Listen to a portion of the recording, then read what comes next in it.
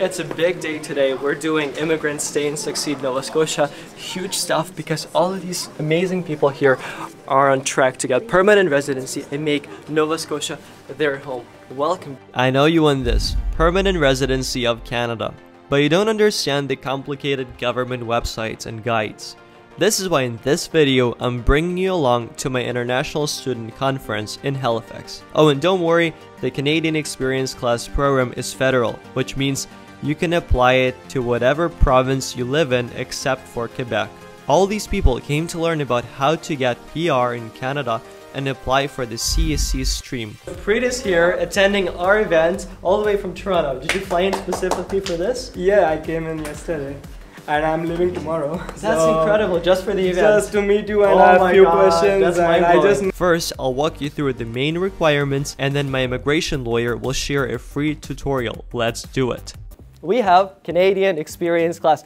Three main circles, right? We have the presence in Canada. You need to have work experience that you gained inside the country. You cannot get a remote work and go back to India, China, work from there and apply for this stream. You need to be present inside the country. Then we have the 1,560 hours, which is the magic number for how many hours of paid work experience, Canadian work experience, you need to get in order to qualify. Another circle is we have tier 0, 1, 2, 3. If you're not familiar, it used to be NOC, uh, National Occupational Classification. This is how Canada grades your skill level. So there's high skill jobs, there's low skill jobs. These are high skill jobs. We'll talk about how to find out which job you have, what qualifies under tier 0, 1, 2, 3.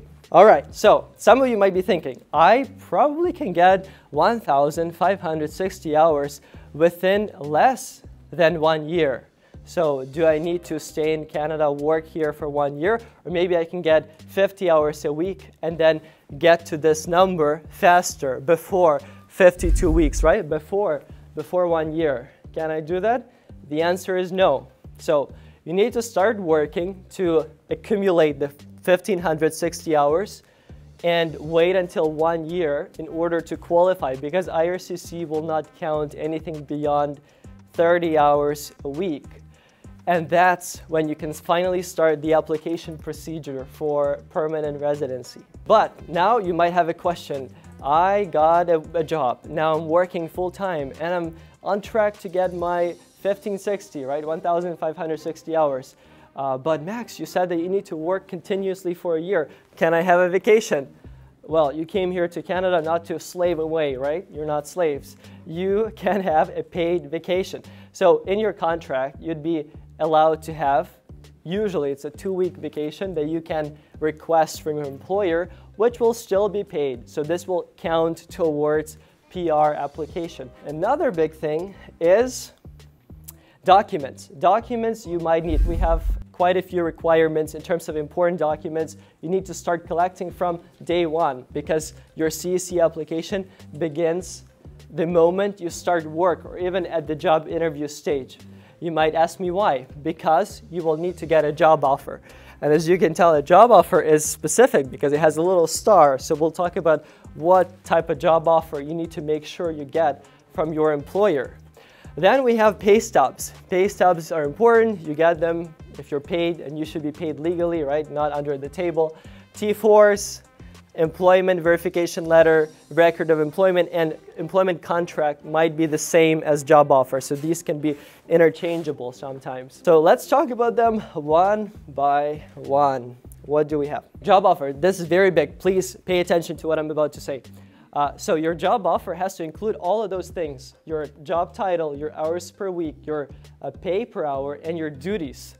Why? Because IRCC, when assessing your job offer, right, the Department of Immigration, a visa officer, will compare those two. They will compare the job offer you have with the title, with the duties, with the pay, to their standards, their NOC or their tier.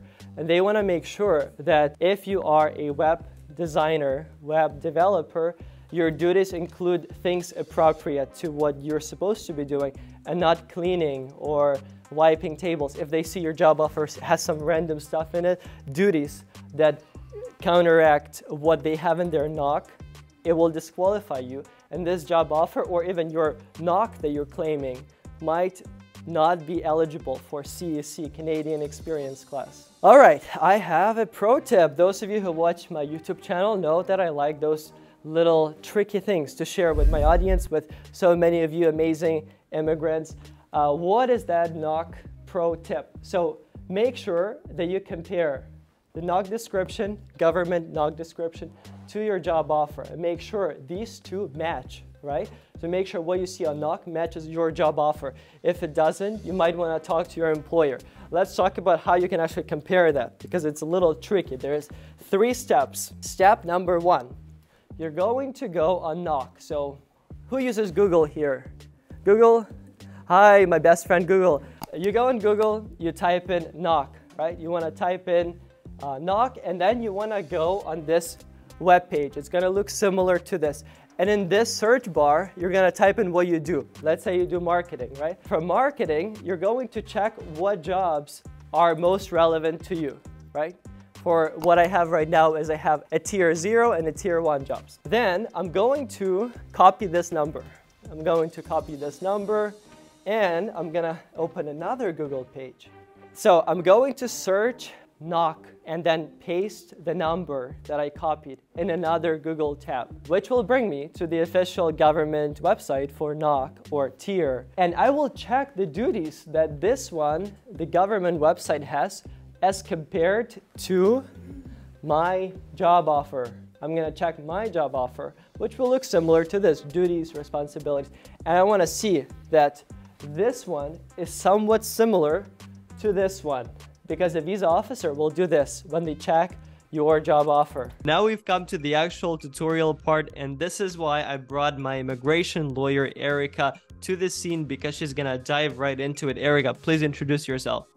Yeah, thank you so much, Max. So, my name is Erica, and I'm an immigration lawyer, and I'm currently living in Toronto, Ontario, Canada. I've worked with many, many people, helping them achieve their dream of coming to Canada, whether it's through a work permit, study permit, or as we're going to be talking about today, becoming a permanent resident. Erica, as a lawyer, has the most perspective and experience to actually guide us through it. So let's dive into it, Erica. First of all, I just wanted to let you all know that the portal that we're going to be using right now is my authorized representatives portal. So what that means is it's going to look a little bit different than your personal IRCC portal. Yeah, so you would go in GCKey to make this application just to clear GCKey, then scroll down to apply to Canada and then apply for express entry. Now let's do it. Okay, so the first question is a very important question. Which province or territory do you plan to live in?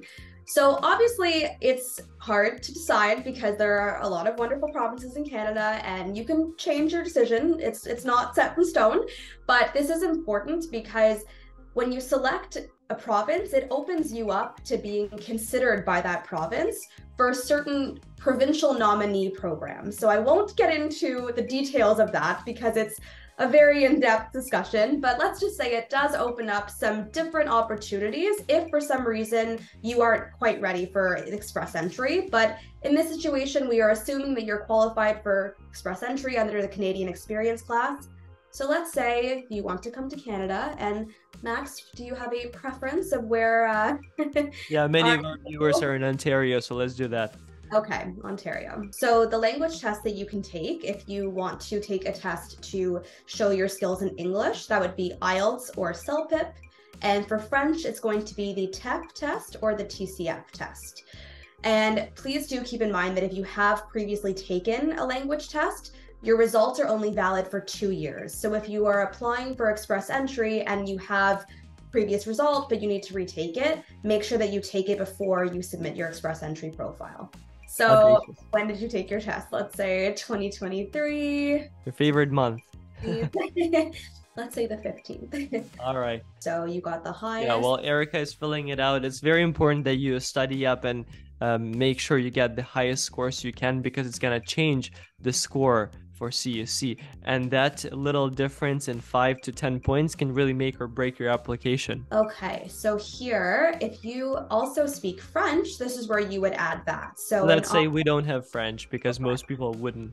Okay, so in the last three years, how many years of skilled work experience do you have in Canada? You can select one year for now, let's say, Erica, because most people would probably have just one year, but you need to have at least one year. So one year, and then Let's say it's uh, three. three. That's the bare minimum. So let's say the bare minimum. So now, based on the answers that we just provided, it is telling you that you are eligible for Express Entry, which is great. so we're going to hit continue. And now we're going to enter our personal details. So you can for- just enter my name, probably Max Medyk. Let's just say uh, 1995, 1st of January. There. Let's say single for this. What do we have here, Erica? So this is actually going to be your express entry profile. So everything that we just did up until this point is just the preliminary steps to make sure that you actually qualify. Now that we know that we qualify, we're able to start preparing our profile. And just as a little background, when I say an express entry profile, once you hit submit, the profile is going to be put in the express entry pool. It's this imaginary pool where all of the profiles that are submitted go into. And then, as I'm sure you've previously discussed about the express entry draws, when a draw occurs, depending on your score, if you get selected, you'll receive an invitation to apply. And I can discuss after we complete the profile what Sure. the next steps are when that happens. Let's- Okay, so for each of these sections, you're basically just going to hit start form and open it up. Our gender and our date of birth is already there. Let's pretend I'm from China. 我会说汉语 ADR.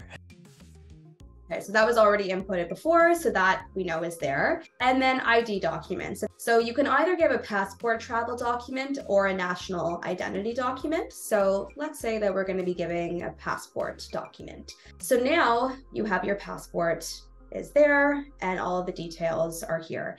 If you wanted to add an additional document, you can do that as well. But for the purpose of the Express Entry profile, having your passport here is enough. So here, this is very important. It's asking about your previous applications. So have you applied to IRCC before? You Well, would have, because normally everybody watching us would have a study permit or a postgrad work permit. Right, exactly. Or or a work permit if you came, you know, to Canada directly with a work permit. Mm-hmm. So the next question is going to be whether you've applied for express entry before. And this is an interesting question. And a lot of people have questions about this question. And so the the main factor here is not whether you have previously submitted an express entry profile, but it's whether you've been invited to apply, then submitted a permanent resident application. So it's the second phase of the express entry application process. So let's say I had a profile in the pool, it was there for a year, I wasn't selected, I would then hit no. UCI, would I find it on my postgrad work permit? Yes, you would find it on your postgrad work permit. You would also find it on any letter that you receive from IRCC. So whether it's an approval letter, a biometrics validity letter, you would find it there. And then country of residence, we're going to say Canada. So this is also a little bit of a tricky question. So the question is asking how many family members does Max Max have? So family members includes yourself. So if you are applying and it's just you and you're single, you don't have a spouse and you don't have any children, you would hit one. And then depending on if you have a spouse or children, that number would change. So let's say we said he was single, so one. And then for this question as well, so technically for Canadian experience class, there is no proof of funds requirement. So this question is really just, you know, for you to provide a number that is that you feel comfortable with. Usually we see people putting around 10 to 15,000 in here, but there's no hard rule about what amount you have to provide here because you're not going to be asked to actually prove that you have that amount. Be careful because even though Erica says it's not a requirement to show proof of funds, but why would they put it on the application if it wasn't something important? Okay, and then here, so do you have a relative in Canada who is a citizen or a permanent resident? Let's say I do not. Okay, so now contact details. Language of correspondence, English. Next. And then email address, let's put Max at Max. oh, that was easy. That was very easy. so now study and languages.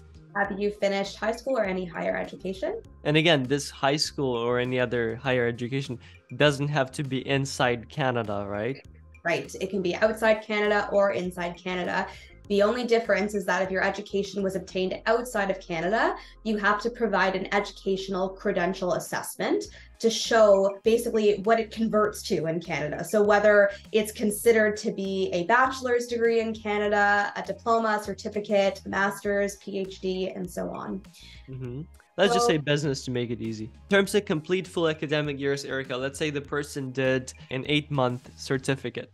So it, this would depend on a few factors. So the nature of the program itself at times is called a one year program when in reality it's actually only you know a certain period of time it's very similar with bachelor's degree because you have it's four years but there is every summer you have off you know so it's not really actually four years of straight studying. So usually I would say go with what appears on your document.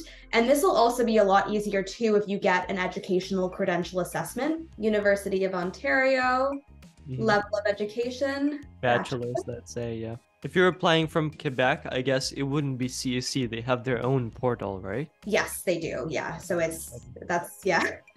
Quebec complicates matters that's, a little bit. That's if you want to claim experience in Quebec. But if you studied in Quebec, then you moved out to another province, it would be CEC, correct? Exactly. Okay. Exactly. Perfect. Yeah did Max Max study in Canada based on an award that required them to go back to their home country to apply their knowledge and skills. So a lot of people are confused by this question, and my response to them is usually if you don't know what this question means, then it's likely that it doesn't apply to you, which is the simple answer. So, what this is, is there's some scholarships that are provided, or there's programs where, as part of the program, you have to basically promise to return back to your home country to apply everything that you've learned in Canada to the economy of that country. And then, did you complete at least 50% of the study or training programs through in person learning? Save and add. So now it's here. Quick little trick. Unfortunately, the portal sometimes freezes and you get reset and you lose the information that you've inputted. So I always recommend every once in a while click save and exit. Go back to the main page and then go back into it just so that you make sure all of your information is saved and you don't have to redo anything. Do I need to input my high school or just the highest level of education?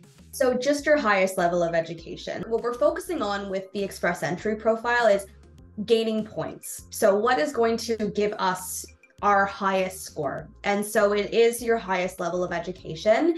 But there's some instances where people come to Canada and they get work experience, but they actually completed their education outside of Canada. So in that case, you would provide your foreign educational information here and you would provide your educational credential assessment to support that education. My practice in terms of post-secondary education is for the purpose of you know completion and just showing everything i do like to include all post-secondary degrees. Even though you are earning points for the highest degree if you have a bachelor master's and a phd I would say just to be on the safe side, include all three. Okay. And then official languages. So English. So for the language test taken, there's a little question mark here. So you can hit this question mark and this will show you where you can find that test report number on the report form that you get with your results from the test. So for IELTS, the report the test report form number is found on the bottom right corner of the page it's a pretty long number and it also has some letters in there as well. So you're going to copy that into this section right here. All right, now we're ready to save and go into the next one, which is application details. Yes, and this one is also short. so this is where we are mentioning which provinces we would be interested in living in. And so, as I mentioned at the beginning of the video, this is important because this tells the province that you're interested in them. So, let's say they have a provincial draw in this province, they will actually automatically consider you without you having to even apply. So let's say you're interested in Ontario, and then it's going to ask here, are you comfortable with providing Ontario with access to your information? So I usually recommend saying yes because this opens up more opportunities for you. Next. Exactly. A nomination certificate. Hmm. I wish. So, so this goes into the provincial nominee program that I've been talking about. And so very, very brief overview because it is a very complicated process. But essentially what this is, is if you get a nomination from a province, you would get an additional 600 points added to your CRS score. What that means is it essentially guarantees that you're going to be selected in the next draw. So let's say that in this case you didn't. So let's say no. So, so far it's been relatively simple. Now we're going to get to the, the more challenging part. so this is where we need to now determine what our NOC code is, our NOC code. So I know that Max has spoken about this in his initial uh, you know, talk, which is going to be included at the beginning of this video. Let's do the second one, 11202, yeah. So, when did you become qualified to practice in this occupation? Typically, depending on your situation, its use is usually correlates with your graduation date. So, let's say in your case, I believe you had graduated in 2010. So, let's put 2010 and June, which is the date that we put for your graduation. Do you have a certificate of qualification from a Canadian province or territory? Again, this is the type of question where if you don't know what this means, the answer is usually no. so this is for specific occupations in Canada, you might have to become qualified from the province in order to work in that occupation. So let's like say, a doctor or a lawyer exactly. mm-hmm. want to make sure everybody catches that part. So, just a bachelor's degree, a two year diploma certificate doesn't mean that it's a certificate of qualification from a province. Uh, it would be uh, beyond that. So, if you had to go through some kind of bar exam or um, doctors also have their own qualification procedure, you would say yes to it, and then you would have to insert, I believe, the number of that certificate. So it would ask you for the province, the occupation associated with the certificate, and the date the, the uh, certificate was obtained. Mm-hmm. Okay, perfect. Okay, guys, I just have to emphasize the importance of it. Please listen to it. This is probably the most important part of our tutorial. Erica, go on. Okay. So for many, when you hear the word job offer, you think that that just means a piece of paper with your job details offering you employment at a company. Unfortunately, for the purposes of express entry, it's not that simple. There's very specific qualifications or requirements for a job offer to be considered valid. If you have a post graduation work permit and it is an open work permit, unfortunately, that's not going to be considered a valid job offer. A valid job offer has to be supported by a labor market impact assessment, or if you are exempt, it would be supported by something called an offer of employment, this is a very brief overview though. There's lots of little details in there, so I would highly recommend looking at the specific requirements provided by IRCC and making sure that you fit into all of the boxes that they provide. This would have to be decided on an individual basis. It would have to be discussed with a lawyer like Erica because it's a very tricky question about this job offer. It's not your classic offer you get when you get hired. It's actually LMIA supported, so it's a little different. That's why we would have to say no because most people wouldn't have this, I believe. But again, feel free to book a consultation in the description below just to make sure that a person who's had a ton of experience can help you avoid mistakes that you don't want to make and mess up your PR application. Absolutely. And another benefit as well of booking a consultation and speaking with me is that we can look at your options and we can see because having a job offer is going to give you an additional 50 points. But if you already have a very high score and you don't need those additional 50 points, then perhaps we can explore, you know, whether that really is necessary. But if in your individual case, those 50 points are going to absolutely make or break your CRS score and whether you're going to be invited to apply, then absolutely we need to make sure that your job offer qualifies. And if not, I can go over how do we make a change to make sure that it does and you do get those points? Work mm-hmm. history. So this is very important as well because this is your work history both inside and outside Canada. So you get points for foreign work experience and you also get points for Canadian work experience. But since we're focusing on Canadian experience class, you do have Canadian work experience, and that is actually what qualifies you for applying under this category. Yes, you have work history.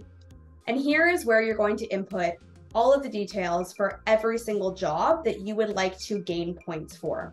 So this section might be short if let's say you've had the same job in Canada for your full year, and then let's say outside Canada you had the same job for six years, you're only going to have two entries in here. And uh, the experience you gain abroad has to be obviously backed up by legal documents, pay stubs, and job offers. So if the employment is not legally proved that you've worked there, don't include it on here.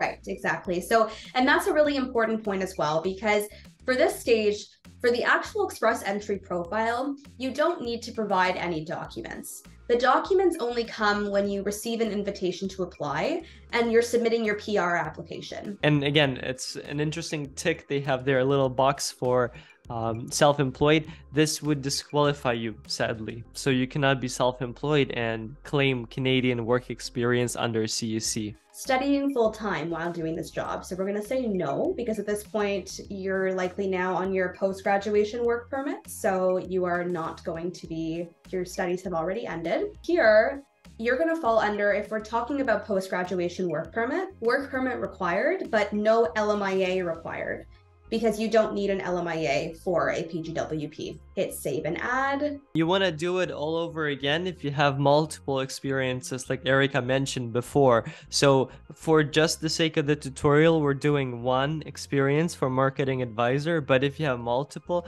it's best if you can include them. Again, if you can back them up with legal documents and pay stubs. This is just very basic research questions to help IRCC gather some information about the pro- about the, you know the process and the application process specifically. And this is just for their research purposes again. So this is not relevant to your application itself.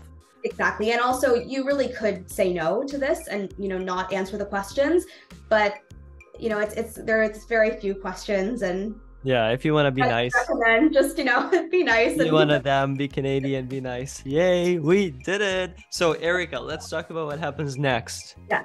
So I'm not going to actually submit it because we don't want to submit a fake profile into the pool, but you would click continue and then it's going to ask you very similar to when you've submitted any previous applications with the portal. It'll ask you to confirm your name. It'll ask you to answer a security question, say that you agree to the terms, and then you're going to hit submit. So your profile's in the pool and you're going to wait until the next express entry draw happens. Depending on your score, you might get selected in the next draw, you might get selected in a draw that happens in a few months from now, or unfortunately, a year might go by and you might not be selected at, at all. So let's say you don't get selected. Your express entry profile is only valid for one year. So it'll automatically be removed from the pool after that one year mark. At that point, you can put yourself back in the pool. You can see if perhaps there's some way that you can increase your score, increase your chances. And at that point, potentially looking into provincial nominee programs might be the way to go. Let's say you're in the pool and you are selected. So you are going to get a notification from IRCC letting you know that you were invited to apply. And automatically on the portal, a slot for your PR application, the actual application is going to be created.